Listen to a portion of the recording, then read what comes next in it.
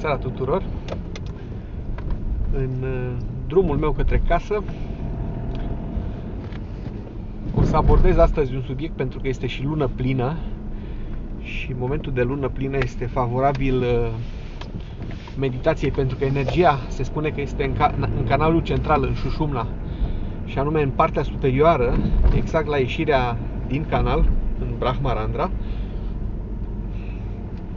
în tradițiile tantrice, acest moment este folosit pentru o serie de practici uh, meditative și de aceea am considerat că fiind un moment în care energia este oarecum non-conceptuală, merită să abordez un, uh, un subiect non-conceptual.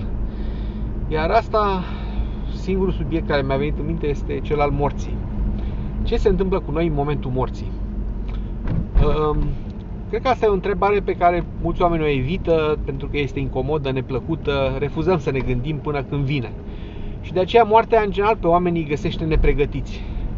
Cei mai mulți se gândesc că cea mai bună cale de a muri, de a muri ușor este aceea de a muri în păcat. Ori ca să mori în păcat trebuie să ai, uh, hai să spunem așa, um, să, să, nu fie, să nu ai păcate, să fi făcut lucruri bune.